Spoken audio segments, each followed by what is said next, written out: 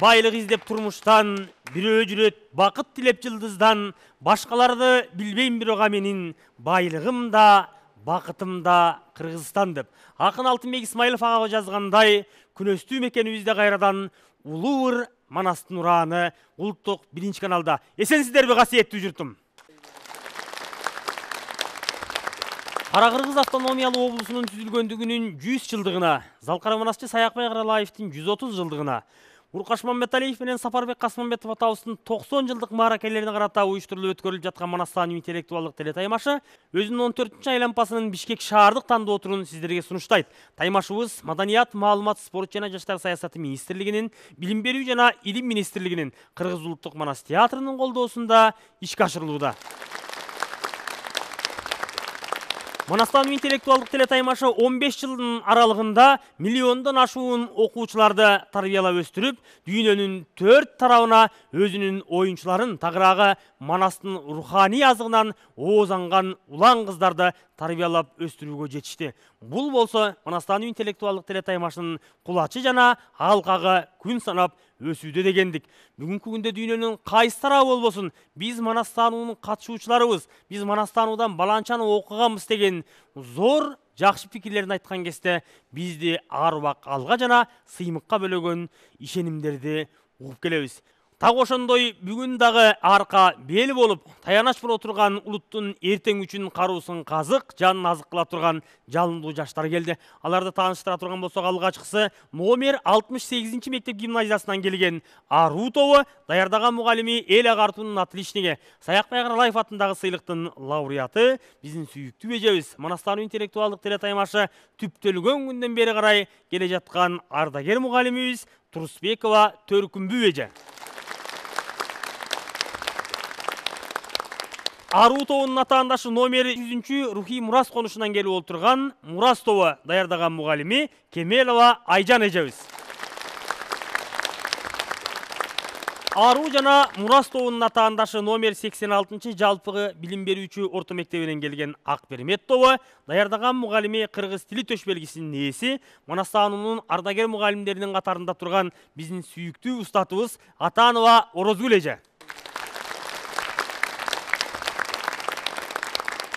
топтың таймашына асар әсеп сала тұрған қалыстар құрамын таныштырсақ қалыстар тобының мүшесі қырғыз республикасының жоғарғы кеңесінің 5 жана 6 шақырылышының депутаты саяқбай манас ел аралық фондының президенті белгілі меценат қоғамдық жана мемлекеттік ішмер ибраев саматбек құлыкеевич мырза. Қалыстар тобының төрағасы республикамыздың еңбек сіңірген артисті 129 саат тынымсыз манас айтуу бойынша Түркияның бурса шарында гиннестин рекорддор китебине қатталған, элибиздин сыймығы, элибиздин құты мамбет мамакеев атауыздан кейінке турган Қырғыстандағы екінші сыймық рыспай рахманович агайыбыз оның мүкесі мүчөсү республикабыздын эмгек сиңирген артисти белгилүү маданият таануучу жана манасшы, президенттердің манасчысы атыккан самат кочорбаев агайыбыз калыстар тобунун ичине ийгилик каалайбыз дагы топ даярдап келген мугалимдер сиздерге таазим этип ыраазычылык билдиребиз республикалык таймашта дагы так ушундай атыңыздарды даңаза кылып бишкектин намысын белиңиздерге байлап чыгып ушул жерде бир борбор калаабыздын намысына жарай турган топторду көргүбүз келет ал үчүн бүгүнкү таймашка ийгилик каалайбыз мугалимдер бар болуңуздар орун алып берсеңиздер балдар биздин студиябызда чогуу сиздердин назарыңыздардан оюн тартууласын керней сурнай тарттырып кереметин арттырып тополоң учуп тоз кылып жердин бетин козгоп асаба туудан бөлүнбөй аскердин көзүн көрүнбөй желеги туудан бөлүнбөй жердин көзү көрүнбөй ала тоонун аскаларын айкура атабыздын улуттук улуу урааны менен жаңыртып аткан түмөнүбүз түрүлүп манас айтып ал тургай элибиз айткандай сулайман тоого барбаса тоо сулайманга келиптир дегендей манас угууга манасчылардын жанына келүүгө убактысы жок биздин замандаштарыбыздын үйүнө барып ар бир үйдө манас айтылсын деген улуу долбоору менен руханий азыктан шыбак алып калса деген жакшы тилек менен бир канча далалаттарды манасчылар кылып келе жатат алардын баардыгынын түп башатында так ушул манастан интеллектуалдык теле таймаш турат бүгүнкү көкүрөгүндө көзү көмөкөйүндө сөзү бар жалындуу жаштардын таймашын чогуу баамдайлы алгачкысы болуп ураан чакыруу менен кезекти биздин төрүбүздө турган урматтуу аруу тобу кезекти сиздерге берем. Биздин топтун аты ару. Ару деген сөз чечмелениши таза кымбат баалуу ыйык келишимдүү жагымдуу. Ошондуктан биз топтун атын ару деп атадык. Манас эпосунда тазалык кымбаттык чындык баардыгы көрсөтүлөт. Мисалга келтирсек манастын айкөлдүгү каныкейдин арулугу бакайдын чынчылдыгы семетейдин тазалыгы айчүрөктүн назиктиги сулуулугу Манасты айкөл дешет элибиз, байыртан ыйык туу тутуп, калпсыз шамал үйлөтпөй, арулап бартап күтөбүз. Алтайдан шумкарың манас келди дейт, тоолуктар аккар көк муздан, кыргызым чапчудай жанын айкөлгө, ааламга манастын даңкын угузган. биздин уран Ару таза пенделер бийик болот, манас даңкын билгенге сыймык конот. Манас атам дайыма жандап жүрсө, ар дайым кыргызымдын иши. Манас, манас, манас. Мен топ башчысы талантбекова руке топ мүчөлөрү Кенжебекова Сезим, Тынарбекова Алия. Аруу тобуна ыраазычылык билдирип ийгиликтерди каалайбыз кезек аларына таандашы болгон төрдөгү мурас тобу сиздерде Кыргыз эли, кыргыз наркын бийик сактап ар дайым. Мурас калсын аркаңдагы балдарың, манас жолун улап бирдей жаштарың, бүтүн болсун ала тоо журт аймагың. Арыба деп амандашат сиздерге, улуу жолду мурас кылчу балдарың. Биздин уран манас, манас, элден калган чоң мурас. Топ башчысы Токторбеков Ибрахим, топ мүчөлөр. Кадырбеков Касым, Тынчтыкбеков Алихан. жетинчи класс гана тестер балдардан куралган мурас тобуна дагы ийгиликтерди каалайбыз кезек аларына таандашы болгон жалаң кыздардан куралган ак бермет тобу сиздерде ассалому алейкум кыргыз элим карт тарыхын камтыган кутман жерим элин коргоп душмандан манас баатыр сүйүү менен сактаган элин жерин тааныштыра кетейин тобуздун аты ак бермет перизада ак бермет ак жебектин чатыры аялдыгы болбосо ургачынын баатыры 11 жашы келгенде атасы султан өлүптүр 15 жашы келгенде атасынын алтын так ошондо бермет миниптир пердин кызы ак бермет перден чыккан бек сулуу мемиреген бек нурлуу манаста кураган чакырып даңктайлы манас баянын. Манас манас эр манас. Ар ишке кошуп оюмду кылайын суроого жообумду. Аз болсо да чабыңыз седеп кызга колуңду. Топ башчысы мен мазалбекова седеп.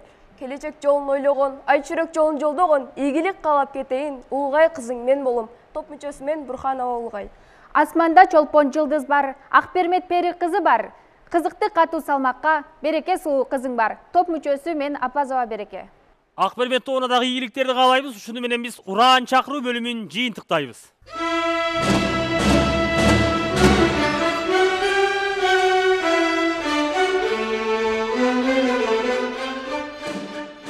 кадимки чоң манасчы балык ооз бекмурат уулу талас менен коштошуп жатканда алты ай коштошкондугу жөнүндө санжырада жана элдик уламыштарда айтылат талас ошондо эки жолу ээрсиреди дейт биринчиси манас өлгөндө экинчиси балык көчкөндө дейт бул кандай касиет алты ай бою балык атабыз кандай коштошкон элдин коштошуу жөнөлгөсү кандайча баяндалат анын жообу кадимки балык ооз атабыздын ажыбек таткага айтып кеткендигинде ат сурасам төбө берген ажыбек атам аман бол суу сурасам бал сунган суусар энем эсен бол деген экен чыны менен алты ай бою бир манасчы менен коштошкон элдин касиети кандай бүгүн манасчыга карата элдин ынтаасы кандай бүгүн дагы жаман эмес чыны менен манасчылар өнөр касиети табиятынан берилген өзгөчө өнөр ээлери экендигин айткыбыз келет бунун далили катарында улуу мата мекендик согуштун маалында дагы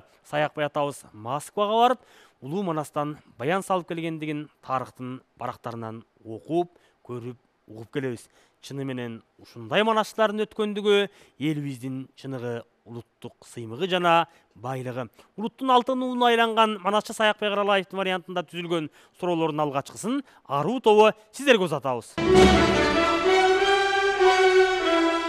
Токсон беш төбөдөгү алтынды жакып кандайча байкап калат? Токсон беш алтынды жакып мындайча байкап калат? Ступа саадак чалганда түнү бою жол жүрүп эртеси күндүзү күндүзү көрүп калат. Оргуган оргуп оргуп чаң чыгат оргуган чаңды караса ал жерде жакыптын эсенкандын токсон беш төбөдөгү токсон беш төбөдөгү артылган алтынды эсенканга алып баратканын көрүп калат. Жооп туура азаматсыздар кийинки суроо. Мурас тобу сиздерге токсон беш төбөдөгү алтынды жакып ак балта алганын алооке кайдан билет? Ал Жакып алтынын алган Алоке бул жö желдет деген батырдан билет кандайча баяндалат окуя кайсы окуяда бул жакып менен акбалта алтынды алып кеткенде э, алоке барып молтого айтат молто бизге да эл керек жер, жер керек деп э, алтынга тийишпей коет алып кете берсин деп. Окуя боюнча жалпы маалыматы бар жөө желдетти алгандыгы жөнүндө айтып баргандыгы жөнүндө кабары бар. Ал эми жакып атабыз менен алгандыгын алоокенин балчысы тагыраагы сыйкырчысы айткандыгын айта алышкан жок калыстар окуя билгендиги жөнүндө жараша упай берет деген тилекте улантабыз андан ары ак бермет тобу сиздерге алтынды алдың деген алооке эмне себептен акбалта баштаган кыргызды кырып жиберген жок алгач окуясынан баштасам ошол э, башчысы жакып акбалтай кыргыздар болуп чогулуп токсон беш төдөгү ошол бейжиңге кете жаткан токсон беш төдөгү алтынды баардыгын тартып алып олжого мыктап канышып жыргап жаткан кезинде андай мындай дегиче ачып көздү жумгучу эле чаң обого бурулуп алоке молто дөңгөлөр келип калышат. Ошол кезде э, алоке молто келип кыргынды кызык салайын деп жатканда ошол э, кара тилин кайраган кан алдында сайраган акылман акбалтай чыгып каным эр экениң чын болсо ошол эгер кырып ийсең эл мына. Э, эгер ошол э, мындай ээлесең э, кызык жер мына. Ошол деген сөзгө көнүңүз деп ошол кара тилин кайрап эгер баш кесем десең мен мына деп акбалтай ушул жерден айтып кеткен жайы бар. Муну көрүп молтокан ошол бул айтканың ырас деп биз жан сактоого жер керек алым алып турууга бизге караган кара жер керек деп молтокандын айтканы бар.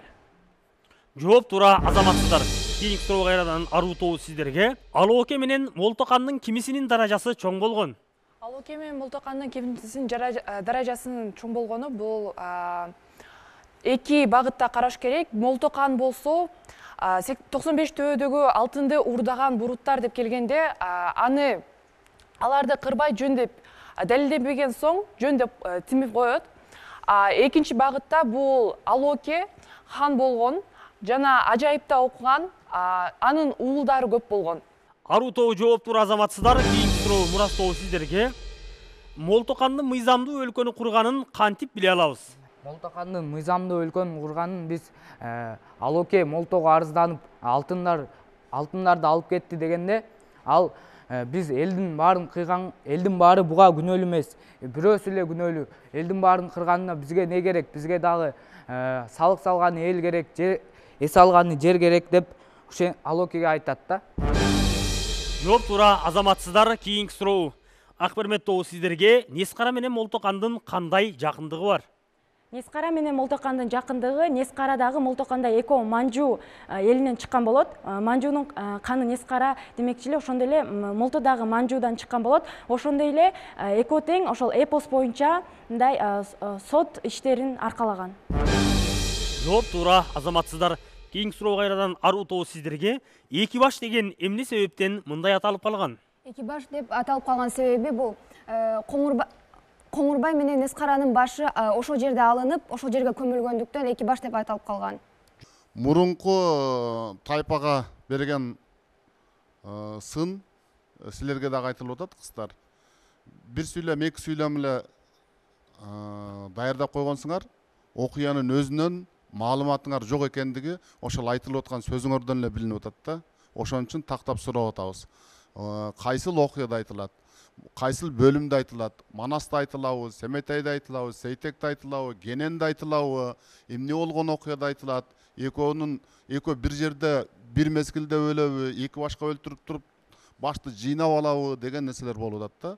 Ошон үчүн кенен жооп беришиңер керек окуяны билсеңер жооп бересиңер билбей жөн эле суроону таап алып туруп жаттап алган болсоңор жооп бере албайсыңар ушундай эле нерсе аруу тобу өздөрүнө берилген суроонун жообун так билет ал эми кайсыл окуяда кандайча баяндалгандыгын алдыңкы жана арткы окуялар боюнча таптакыр жооп бере алган жок бирок семетей бөлүмүндө экендигин дагы эске сала кетишти калыстар өз баасын берет деген ойдо улантабыз мурас тобу сиздерге берилчү суроо коңурбай каза тапкан соң алгара эмне болот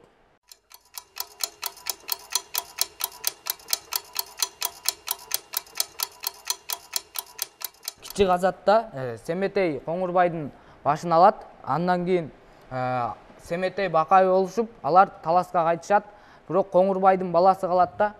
Бирок ал а, коңурбай атасынын а, күйүүсүн кубайт да. Атын ушу семетей алат окшойт деп ойлойбуз да.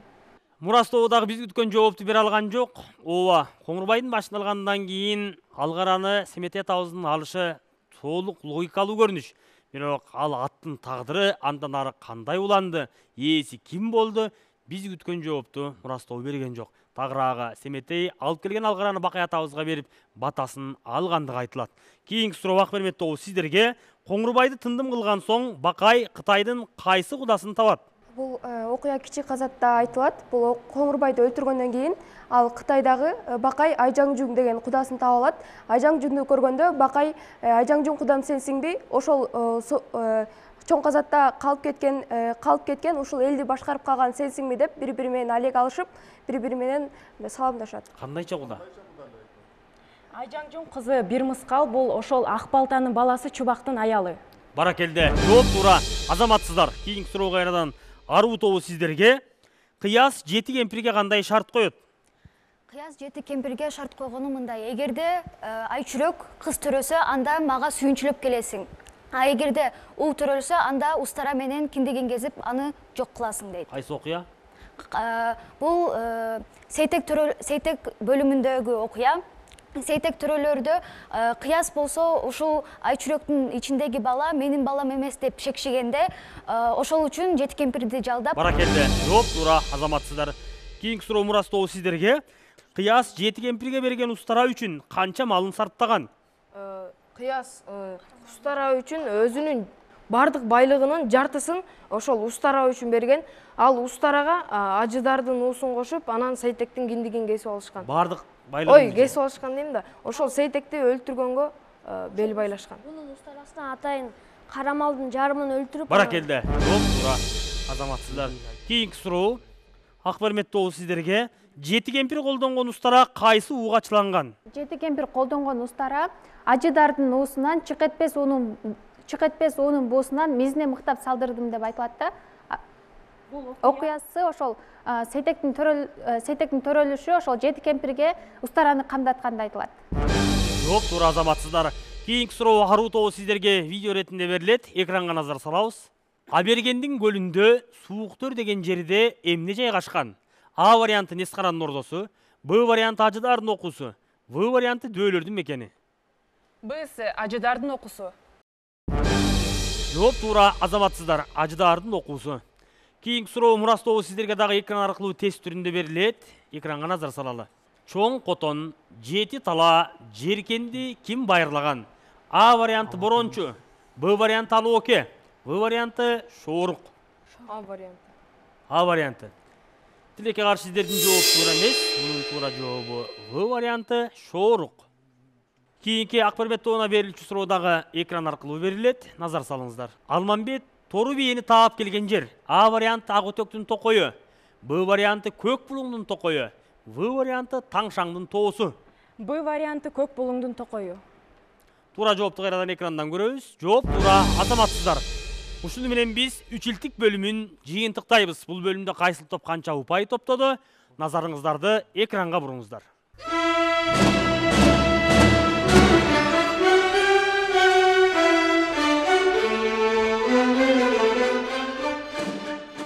таймашуубуздун үчүнчү бөлүмү болгон сыр куржун бөлүмүн баштайбыз бул бөлүмдө оюнчулар өзүңүздөр билгендей эпостун ичиндеги көнүргөн сөздөр менен сөз айкаштарын жана макал лакаптарды чечмелеп эпосту мисал келтирип айтып беришет келиңиздер топ башчылар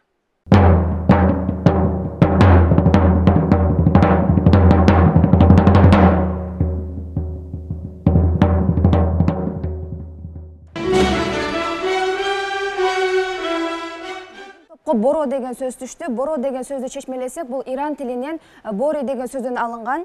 Э, бори деген сөз суу жүргүзчү жоон түтүк дегенди түшүндүрөт. Ал эми эпостон мисал келтирсек э, жолой менен коңурбайдын мурдунун тешиги суу жүргүзчү жоон түтүккө салыштырылып бородой деп айтылган жайы бар. Ал эми биздин топко макалдардан көлөкөдө жаткан ит күндү карап үрөт деген макал түштү. Бул макалды чечмелесек жаман жалкоо адам бирөөнүн пайдасын көрүп э, бирөө э, тескерисинче коркуп эч нерсе кылбай жаткан адамды алсак болот. Э, ал эми эпостон мисал келтирсек манас манастын көлөкөсүндө жаткан алты арам манас менен эч качан ал- манас менен биригип эч качан казаттарга барган эмес.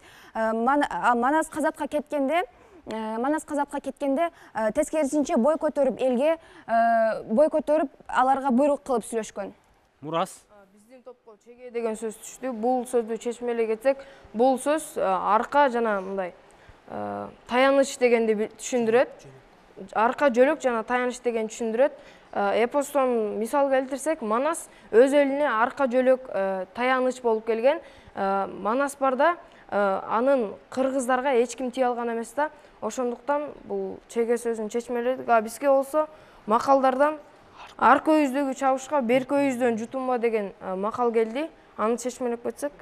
Бул өзүң өзүң арка өзүдөгү чабышка өзүң э, башка өзүдө туруп э, мындай жутунба деген экен да бул бир жерде туруп башка э, өзүң бир жерде турасың бирок башка жерде чабыш согуш болуп атса аякты карап тура бербестен ба- барыш керек экен да.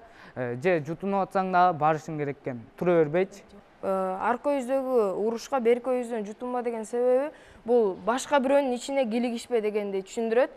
Ак бермет бизге көнөргөн сөздөрдөн бейлөө деген сөз келген. Бейлөө деген бул мындай ынта менен кароо баамдоо абайлоо кун коюу дегенди түшүндүрөт ал эми эпосто мисал келтире кетсек негизи бейлөө деген сөз бул эпоста абдан кенен кездешет алардын бири ошол алооке манастын колунда түшкөндө алоокенин мындай ошол айтып кеткен мындай тартуу кылган жерлери жерлерин айтканда манас болсо мынтип ойлойт сырымды бейлеп а, кытай ошол баспайбы менин башыма бул жаңы эле чогулган элимди кайрадан чачпайбы деген а, жеринен билсек болот. Э, макалдардан болсо аз кайгыны аш басат көп кайгыны дос басат деген макал келген. Муну чечмелей кетсек ошол э, эгерде сенин аз эле кайгың болсо аны мындай э, бир жакын туугандарың менен отуруп сүйлөшсөң ошол жазылып кетет да кайгычы анан көп кайгыны дос басат деген бул э, эгерде э, мындай көп э, кайгың болсо аны сен ошо досуңан башка эч ким бөлүшө албайт да. Мааниси эпосто мисал келтире кетсек?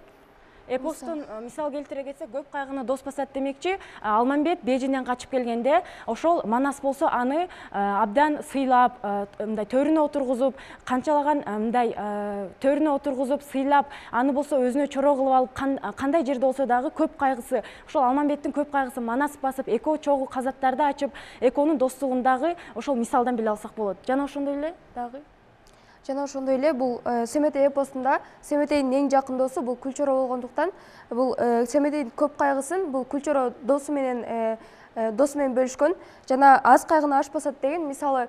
Манас өлгөндө бул семетейдин семетей темиркан шаарындагы ашын берип ошол кайгысын мындай жаап алган да урматтуу калыстар тобу биздин аруу мурас жана ошондой эле ак бермет топтору өздөрүнө берилген тапшырманы канчалык деңгээлде аткара алды келтирген мисалдары чечмелөөлөрү деги эле балдардын кеп маданияты канчалык деңгээлде болду. Силерден кошумча пикир сунуштарды эске алуу менен корутундулоо үчүн кепки тизгинин кайрадан сиздерге узатабыз.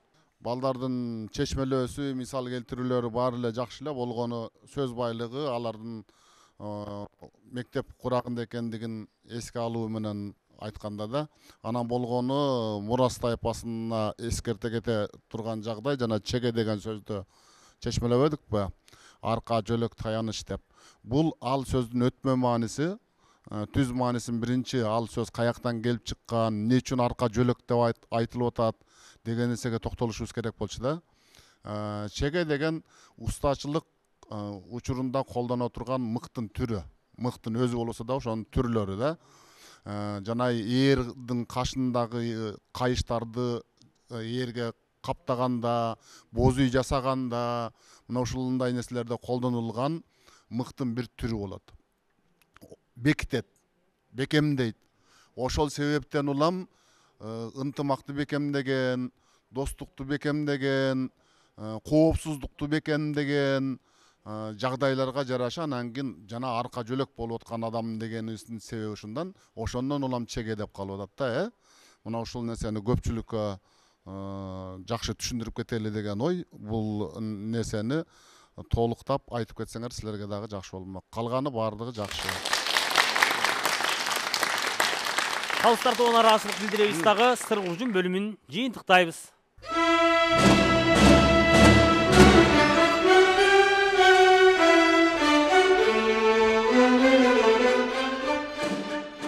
Төртүнчү бөлүмүбүз болгон сырттандарды сынайбыз бөлүмүнө кезек келип жетти өзүңүздөр билгендей эпостун ичинде ат жыгылып турганча алтымыш акыл ойлоп тапкан кадимки серек атабыз жана ошондой эле атка жеңил тайга чак манас табыздын жанында качан болбосун жолго сак жүргөн бир канча иштин жолун анын эбин билген сыргак сыяктуу аталарыбыз бар ошол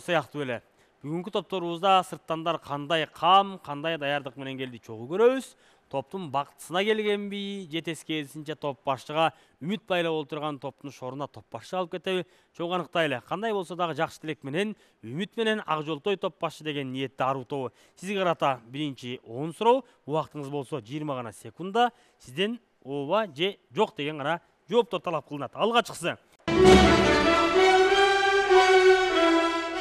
семетей үмөтөйдүн кунун төлөйбү? Жок.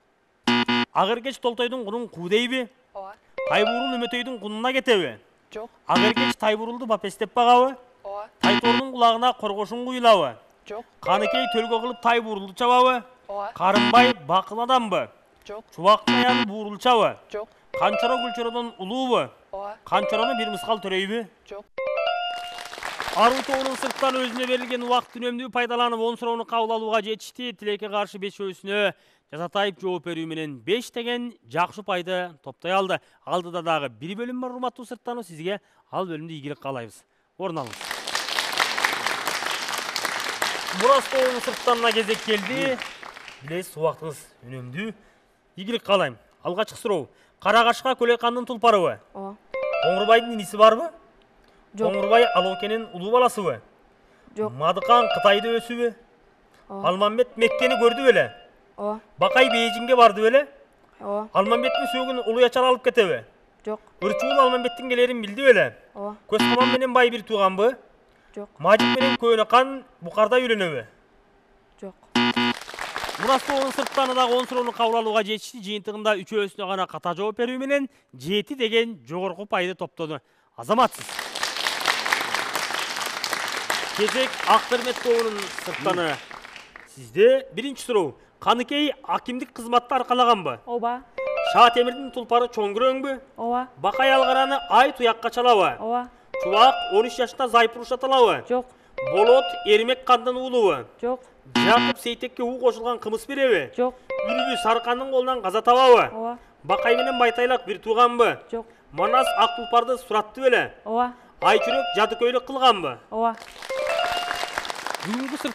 ичинен берилген убактысын дагы суроолорун дагы эң керемет пайдаланып эң жогорку деген тогуз дут упай топтогон ак бермет тобунун сырттаны болду ийгилик каалайбыз суроолордун татаал экендигине карабастан керемет жооп бердиңиз бар болуңуз таймашыбыздын жыйынтыктоочу бөлүмү болгон атаандаштардын өз ара суроо бөлүмүнө келди урматтуу оюнчулар эске сала кетүүчү жагдай эпостун ичиндеги чиеленишкен окуялардын ичинен суроо түзмөй жок экендигин билесиздер. Дагы бир ирет ошого карабай эскертебиз. Алгачкылардан болуп төрдөгү мураска карата аруу тобу сиздердин сурооңуздарга кулак түрөлү. Агалар тозбо жолумду кармап койбо колумду жер жер жайна- жер жайнаган түмөн эл жетип жыйып алайын деп кайсы элге жана кайсы жерге кайрылып жатат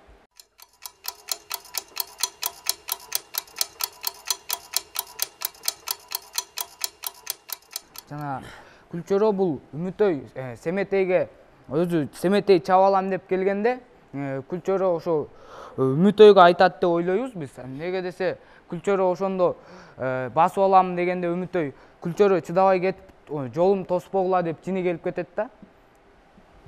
Тилекке каршы жооп туура эмес. Жоопту айта кетсем күлчөрө жетигер элине жети өзөн элине кайрылат. Упай. Бере албайбыз. Рахмат. Мурас тобу ак берметке Э, бизде айта кетчү суроо а- айчүрөк э, өзүнө теңин издеп жарын издеп э, учуп жөнөгөндө э, төштүк кайсы жерди мекендеген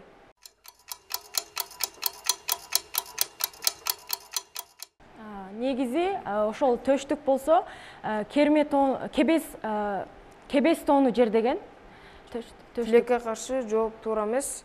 Э, эпосто мындай айтылат. Э, Каш- э, кашкардын оюнда жаман суунун боюнда э, сарыбай деген жерди жердеген төштүк. Упай. Тилекке каршы упай бере албайбыз. Рахмат. Акбермет арууга. Акбермет тобунан аруу тобуна берилүүчү суроо. Чоң казатта коңурбай өзүнүн жеңилип бара жатканын билип ошол манастан жети күн бурсат сурайт ошондо кимди жөнөтөт манастын алдына?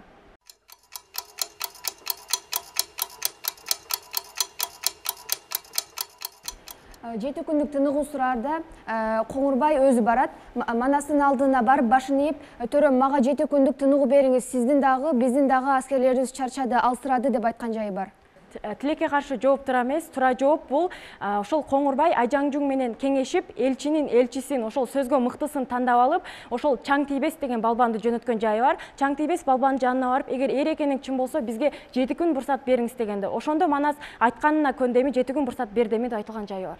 Упай. Упай бере албайбыз кадырман теле көрүүчүлөр ушуну менен биз он төртүнчү айлампабыздын бишкек шаардык тандоо турунун кезектеги чыгарылышын жыйынтыктап олтурабыз бүгүнкү таймаш канчалык деңгээлде болду кайсыл тайпа маарага озуп келди жалпы жыйынтык канчадан упай топтоду корутунду жыйынтыктоочу кепти кайрадан калыстар тобу сиздерге узатабыз биз жогоруда айткандай айрым жерлерде кошумча суроолорду берип аттык ошого жараша упай өйдө төмөн болуп калды мурас тайпасы үч илтиктен эки суроого жооп бере албай калды таптакыр жообу жок болуп калды видео суроого андан кийинки суроо андан мурунку суроолорго акбермет тайпасы баардыгында жакшы келаткан азыркы кошумча суроодо шашып кеттиңер шашып кеттиңер варианттуулукту караш керек болчу кайсы вариант боюнча берилип аткандыгын эске алыш керек болчу ошондон м, мүчүрүштүк кетип калды жалпы жыйынтык аруу тайпасы кырк үч упай мурас тайпасы отуз беш упай акбермет тайпасы кырк тогуз упай жалпы бүгүнкү манастануу интеллектуалдык таймашка катышкан э, окуучуларга эжеке агайларга ыраазычылык билдирип кетким келет абдан жакшы даярданышыптыр ушул жерге келгенин өзү эле жеңиш деп эсептейбиз Э, сиздерге ийгилик каалайм Э, бул биздин көйгөйлүү маселебиз ушул э, китеп окуу китепти талдап ушундай бир терең түшүнүү абдан азыркы мектепте билим берүү системасында абдан аксап келатат. Ошого карабастан мына сиздер чоң эрдик кылдыңыздар деп ойлойм. Бүгүн жакшынакай э, ушул ушул темпте жакшынакай мына жеңилип калганга карабастан жакшы ушул э, ылдамдыкта кете берсеңиздер чоң ийгиликтер жаратасыздар дейм. Сиздерге чоң чоң ийгиликтерди каалайм урматтуу окуучулар азаматсыздар. Бишкек шаарыныкы болуп жаткандыгы дагы бул маанилүү анткени бишкек шаарында сиздерде болгон жаштар өзүнүн эне тилинде сүйлөө маселесин жолго кое албай жаткан жагдайлар бар айрым. Бирок сиздер манас таанууга келип катышып кыргызча э, кенен терең көөнө сөздөрү менен жоопторун берип жатасыздар. Мен жалпы бүгүнкү мына ушул оюнда ойногон үч командага э, мындан кийинкиде ойной тургандарга сунушум өз ара суроодо бири бириңиздерге суроо берип атканда албетте эми сиздер таппасын деп аракет кылып жатсаңыздар керек бирок суроо берип атканда суроонун багыты э, туура болуш керек суроонун өзү туура болуш керек ошону туура э, суроо бергенге бир даярданып келсеңиздер деп айткым келет